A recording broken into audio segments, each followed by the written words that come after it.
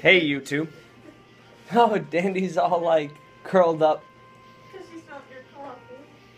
Did you not like it? No. My cat just smelled my coffee. And she went. You want to try it again? Let's see. Let's see if she does it again. Ready? Hey guys, so this is my cat Dandelion.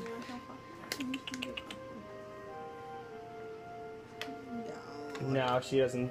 She didn't do it that time. But that's Dandelion. Dandelion's cute. And there's me with messy hair after a really long day of work. Smoking an Edge Habano.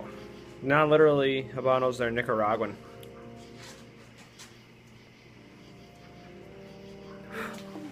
And I punched it.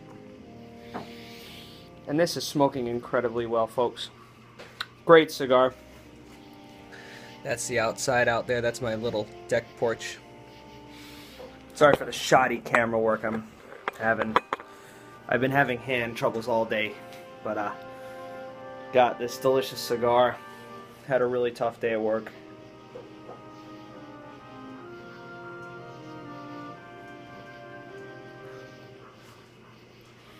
It wasn't so much a tough day as it was just tiring, you know.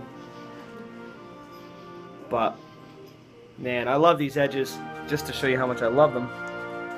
Here's 19 of them. This would be number 20. But I went to Cigars International and they have a make and offer site. You go on there, you look at what you might like. They tell you what the retail is. You kind of do a little bit of research, make an offer on the cigars they have and a quantity, and you can get them. And for 20 cigars, paid 50 bucks, I think, with shipping for 20 cigars. Something like that. So, hop on up there and uh, check that out. But great cigar. This cigar is a uh, little bit spicy, full, medium to full body.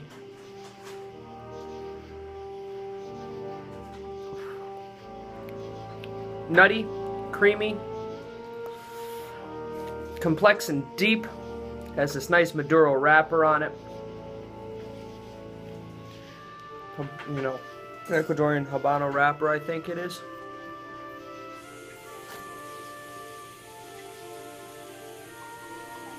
I'm gonna tell you what, it's a delicious cigar. Look for the blue label. Wrong finger to have that on.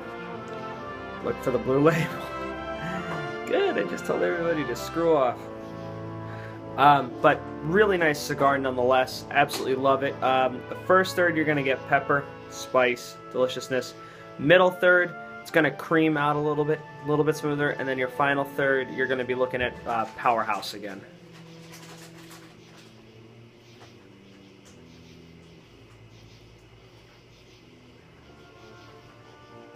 But tell you what, construction 10 out of 10. Flavor 9 out of 10.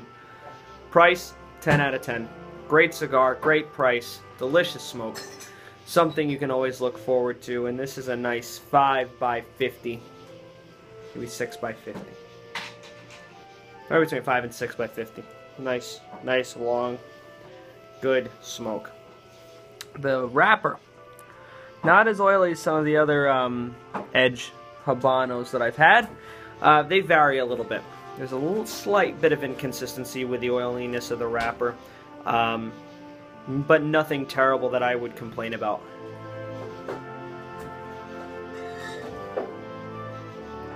Cigar stays well lit, smokes brilliantly to the end, consistent and even. And I tell you what, I will never, ever, ever complain about this cigar. I might complain that some places sell it for too much, but I'll never complain about the cigar. And people knock Rocky Patels. No idea why. Can I have a small dish for ashing, please? I'm gonna go get my ashtray. I'll be right back. I'll go get it.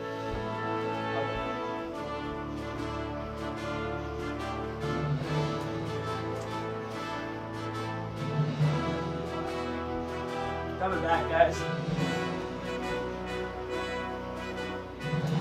Oh yeah, and I'm wearing pants that say Corona on them. It's fancy.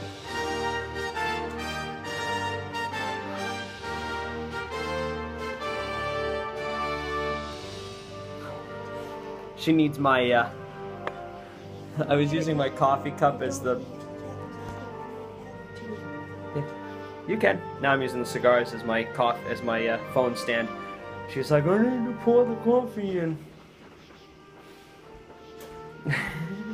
this is a real ramble, guys. I'm sorry. I've had one of those days. Uh,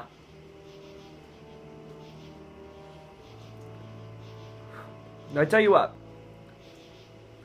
I've been getting a lot of great deals from Cigars International.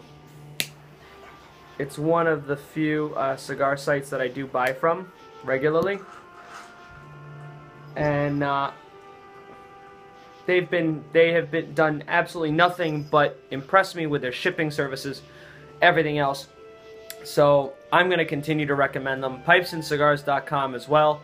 Great stuff. Cheap humidors. So, solution. Um, I purchased an electronic humidifier for my new giant thing. I told you about that. Well, I actually called the company because the ribbon cable wasn't long enough. They sent me a six foot long ribbon cable for free. CheapHumidors.com took really good care of me.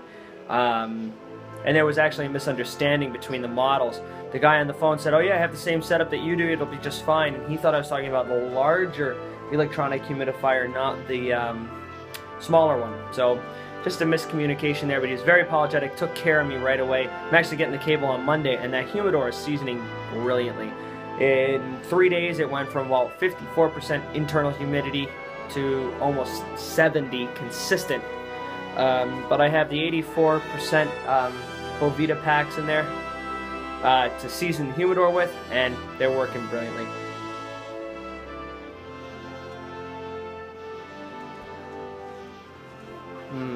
Really nice cigar. Absolutely delicious cigar. Guys, if you haven't had an Edge Habano, you gotta do it. Even if it's just one to try, do it. You won't be disappointed. The Edge Habano I would not over humidify though. They tend to sour. I would definitely keep it between 65 and 70% relative humidity. Like that's the that's the most. Um, actually, my apartment right now is at about 68%. So I'm leaving the cigars on the table until the big humidor is seasoned. Um, I don't expect it to go up or down very much. So I'm going to keep it the way it is. Um, but yeah, check them out.